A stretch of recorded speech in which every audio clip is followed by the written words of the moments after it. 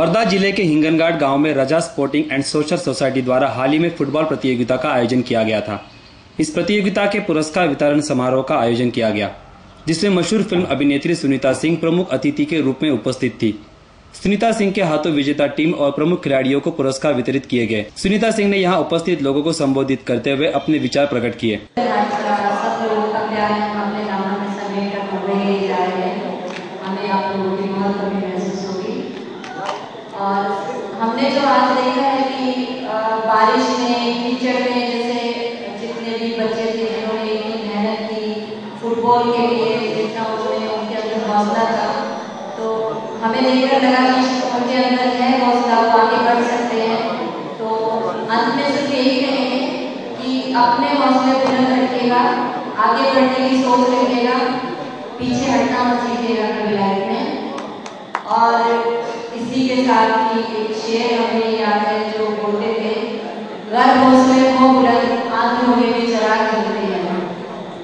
एक और शेर हम बोलेंगे आपकी हौसला अफजाई के लिए कि खुद ही को कर बुलंद इतना, खुदा बंदे से खुद पूछे, बता दे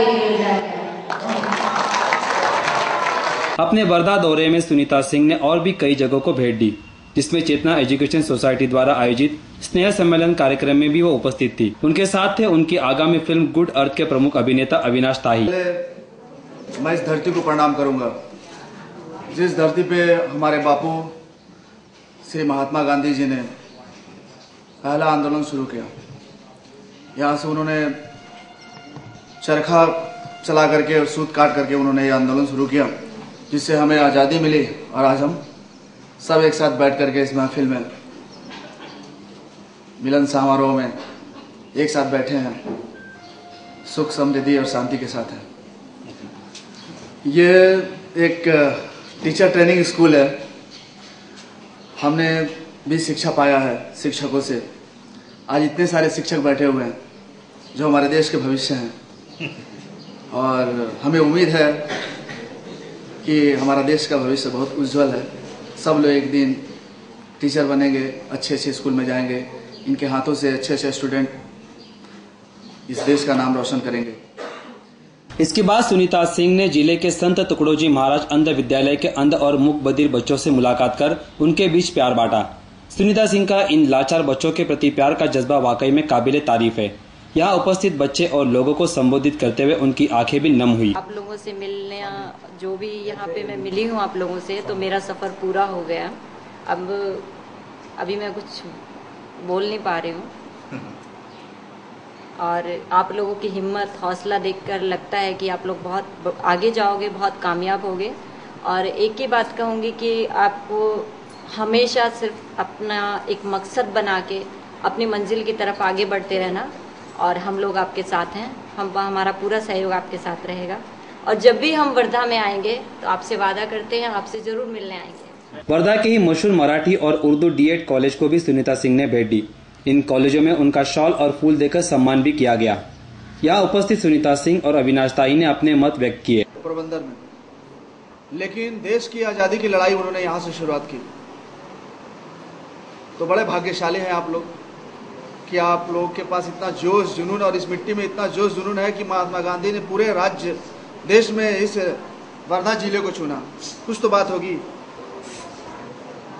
आप देश का भविष्य आपके हाथ में है। और शिक्षक गुरु होता है। आदमी के ज़िंदगी में पाँच माता पिता होते हैं। एक जो पैदा करता है, एक जो दीक्षा देता है, एक जो शिक्षा देता है। एक पत्नी का बाप और एक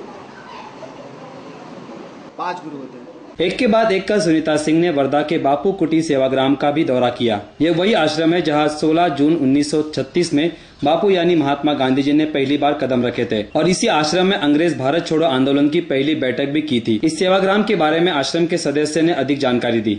1936 16 जून को गांधी जी यहाँ आए थे। 16 जून उन्नीस सौ छत्तीस। छत्तीस। Nineteen thirty six. तो ये आदि निवास उसमें कोई दूसरी व्यवस्था नहीं थी। सब जंगल था।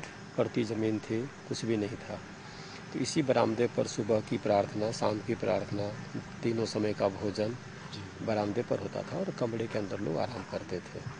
खान अब्दुल गफ़ार खान उनकी लड़की महाराष्ट्र के श्री टुकड़ोजी महाराज बा गांधी सब इसी मकान में पहले रहते थे। हम लोग जो अंग्रेज़ों भारत छोड़ो अंग्रेज़ों भारत छोड़ो जो हम लोग देखते हैं उसकी पहली बैठक इसी कमरे में यहीं से प्रस्ताव हुआ था। ठीक है। वैसे तो सुनीता सिंह का यह वर्धा दौरा काफ़ी यादगार रहेगा। इसकी खास बात यह है कि उन्होंने वहाँ से निकलने से पहले वर्धा के मशहूर दरगाह में जाकर बाबा के आशीर्वाद भी लिए।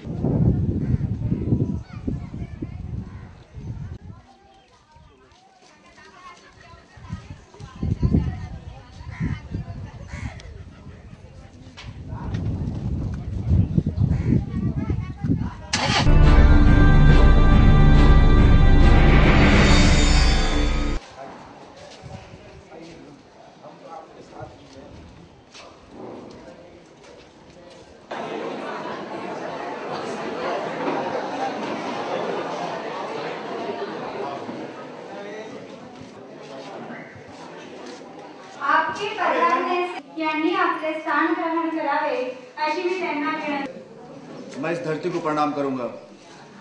जिस धरती पे हमारे बापू श्री महात्मा गांधी जी ने पहला आंदोलन शुरू किया, यहाँ से उन्होंने चरखा चला करके और सूत काट करके उन्होंने ये आंदोलन शुरू किया, जिससे हमें आज़ादी मिली और आज हम सब एक साथ बैठ करके इस महफिल में मिलन समारोह में एक साथ बैठे हैं। सुख, समृद्धि और शांति के साथ हैं। ये एक टीचर ट्रेनिंग स्कूल है। हमने भी शिक्षा पाया है शिक्षकों से। आज इतने सारे शिक्षक बैठे हुए हैं, जो हमारे देश के भविष्य हैं।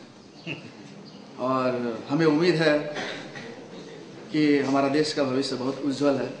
सब लोग एक दिन टीचर बनेंगे अच्छे अच्छे स्कूल में जाएँगे। इनके हाथों से अच्छे अच्छे स्टूडेंट इस देश का नाम रोशन करेंगे। जाहिद जी इब्राहिम जी ने हमें बुलाया, आप लोगों के सामने मौका मिला, अपने भाई बंधु से मिलने की बहुत खुशी हुई अच्छा लगा। जय हिंद, जय भारत, जय महाराष्ट्र सबसे पहले आप सभी लोगों ने जो हमें प्यार दिया है और यहाँ हमें जो सम्मान मिला है, मैं आप लोगों का धन्यवाद करती हूँ। और हम ये हमेशा याद रखेंगे इस धरती को, जहाँ पे हमें इतना मान सम्मान मिला और इतनी पवित्र धरती है कि यहाँ पे आप जैसे लोग रहते हैं। और सिर्फ़ आपके लिए हमने कुछ लिखा था तो हम आपको थोड़ा सा सुनाएँगे। मिले हैं आज हम तुम शायद नसीब से, मिले हैं आज हम तुम शायद नसीब से। मिलेंगे एक बार फिर हम करीब से। मिलेंगे एक बार फिर करीब से। चलता रहे ये सिलसिला यूँ ही मुलाकातों का। चलता रहे ये सिलसिला यूँ ही मुलाकातों का। दिल में संजो कर रखेंगे हम ये सफ़र चंद लम्हातों का। धन्यवाद।